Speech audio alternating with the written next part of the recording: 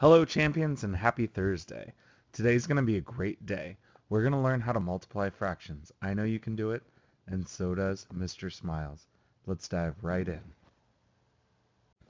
Let's start with the first do now question. Alexander bought 10 pounds of apples to give as gifts to 25 friends. He gave each friend the same amount of apples. How many pounds of apples did each friend receive? Well, let's start by figuring out what is being split up in this problem. Is Alexander splitting up the 10 pounds of apples or the 25 friends? He's splitting up the 10 pounds of apples.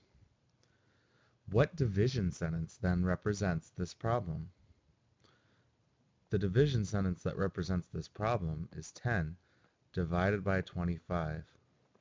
I know that that creates the fraction 10 over 25. My answer isn't there, so I need to simplify. What's a number that goes into 10 and 25 evenly? 5 goes into both evenly. When I divide both 10 and 25 by 5, what fraction do I get? I get 2 fifths. The correct answer is A. Each friend gets 2 fifths of a pound of apples. Let's look at another example. Mr. Gibson bought a bag of 30 marbles from the store. Two-thirds of the marbles were blue, and the rest were green. How many marbles were blue? Well, I'm finding a fraction of a number. That means I need to multiply. Two-thirds times 30. When I multiply 2 thirds times 30, what's the resulting improper fraction? Well, 30 times 2 is 60, and my denominator stays the same, 60 over 3. Now I can divide 60 by 3 to find the number of blue marbles. What is 60 divided by 3? Well, 3 goes into 6 two times. 2 times 3 is 6. Bring down my 0. 3 goes into 0 0 times, with nothing left over. Mr. Gibson has 20 blue marbles. It says the rest of the marbles were green. I know there are 30 total marbles. 20 of them are blue. How can I find how many marbles are green? I need to subtract 30 minus the 20 blue marbles to find the difference. There are 10 green marbles. Now let's try some multiplying fractions by whole numbers. We've been doing this for the last two days. When I multiply 5 times 1 third, remember, I multiply the numerator times the whole number. What's 5 times 1? It's 5 my denominator stays the same. It's 3. And my next step is to change that into a mixed number. I need to divide the numerator, 5, divided by the denominator, 3. 3 goes into 5 one time. 1 times 3 is 3. And when I subtract, I have 2 left over. That gives me 1 and 2 thirds. When I multiply 2 thirds times 4. What's the resulting improper fraction? Well, 2 times 4 is 8, and the denominator stays 3, so the improper fraction is 8 thirds. When I change 8 thirds into a mixed number, what do I get? Well, 3 goes into 8 twice, 2 times 3 is 6, and when I subtract I have 2 left over. That is 2 and 2 thirds. What is 1 half times 3 if I write it as an improper fraction? That gives me 3 halves. When I change 3 halves to a mixed number, what do I get? Well, 2 goes into 3 one time. 1 times 2 is 2, so there's 1 left over.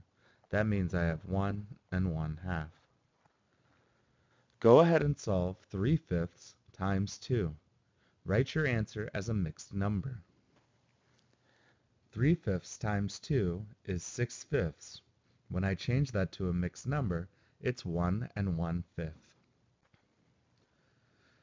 We've talked about multiplying fractions by whole numbers. Today we're going to talk about how to multiply a fraction times a fraction. I know that when I find the area of a square or rectangle, I can use the formula length times width.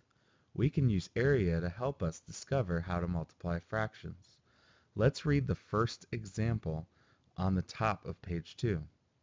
The square below represents one square inch. Use the model to find an area of a square that has a length of one half inch and a width of one third inch.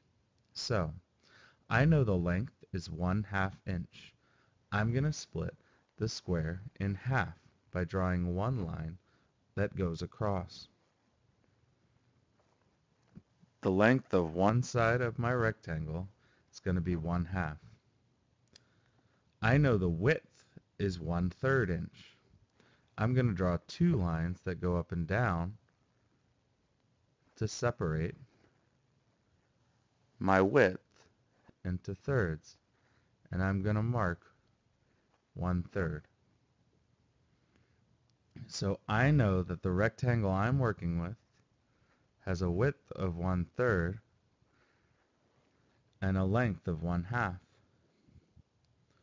What fraction of the whole square inch is represented by my rectangle? It's one-sixth. There's one piece shaded in out of six total pieces. So when I multiply one half times one third, I get one sixth. Let's look at another example. The square below represents one square inch. Use the model to find the area of a square that has a length of 2 thirds inches and a width of 3 fourths inch. So, I know that the length is 2 thirds of an inch. I'm going to cut my square into three pieces by drawing two lines that go across. I know that my rectangle is going to have a length of 2 thirds, two of those lines. I know that the square is going to have a width of 3 fourths inches. I'm going to draw three lines that go up and down to separate my width into fourths. And I know that my rectangle is going to take up three of those fourths. Now I'm going to shade in my rectangle.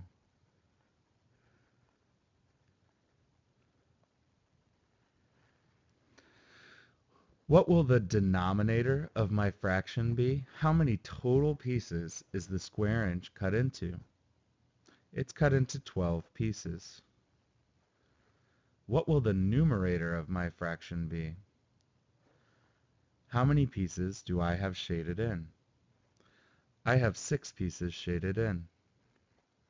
So when I have a rectangle with a width of 3 fourths inch and a length of 2 thirds inch, the area is 6 twelfths. When I multiply 2 thirds times 3 fourths, I get 6 twelfths. Let's look at another example. This time we want a square with a length of 1 half inch and a width of 3 fifths inches. I'm going to draw one line across to make a length of 1 half inch. I'm going to draw four lines that go up and down to cut my width into fifths.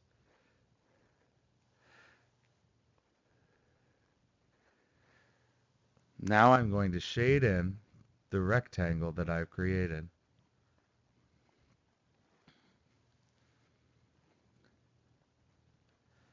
What fraction of a square inch is represented by my rectangle?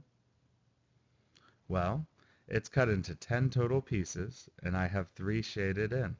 So the area is 3 tenths. 1 half times 3 fifths is 3 tenths.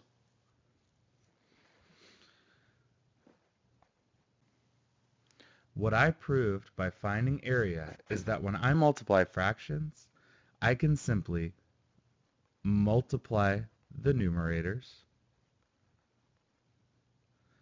multiply the denominators,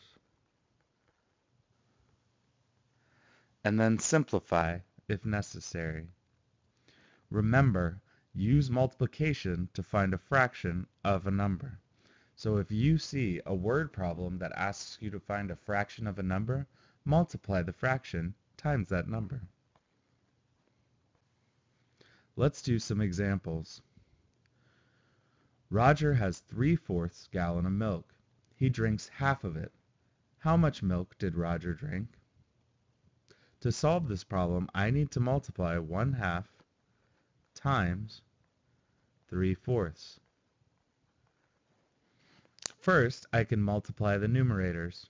What's 1 times 3? 1 times 3 is 3. Now I can multiply the denominators. What's 2 times 4? 2 times 4 is 8. So, Roger drinks 3 eighths gallon of milk. Let's do another example. Michael has 3 fifths cups of juice. He gives 2 thirds of it to his friend. How much juice did Michael give his friend? Two, I need to find 2 thirds of 3 fifths, or 2 thirds times 3 fifths. What is my resulting fraction when I multiply 2 thirds times 3 fifths? It's 6 over 15. 2 times 3 is 6, 3 times 5 is 15. That's not my final answer. I need to simplify. What's a number that goes into 6 and 15? 3 goes into both. When I simplify 6 fifteenths, what's the resulting fraction? It's 2 fifths. Let's try another one. What's 3 fourths? Alan read for 3 fourths hours last night. Jerome read for one third as much time as Alan. How many hours did Jerome read? I need to find one third as much as 3 fourths, or one third times 3 fourths. When I multiply one third times 3 fourths, what's the resulting fraction? 1 times 3 is 3. 3 times 4 is 12. I can simplify 3 twelfths.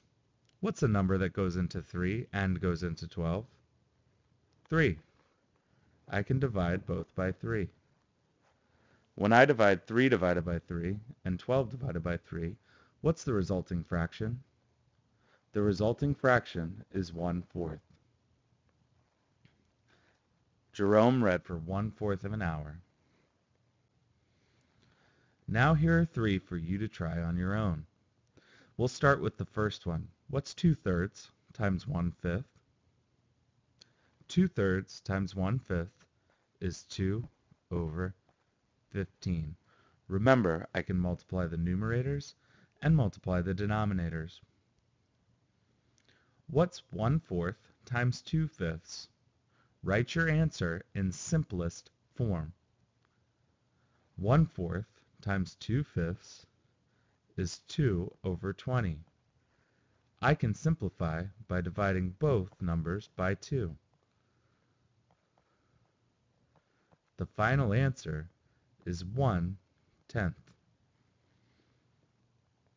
Let's try another. What's 1 third times 3 tenths? Write your answer in simplest form. Well, 1 third times 3 tenths is 3 over 30. I can simplify by dividing both by 3. When I do, I get 1 tenth. You've done a great job on this video. Now it's time to move to the practice problems in your packet. Make sure that you rate the video so you can get your final score and record your final score in your packet.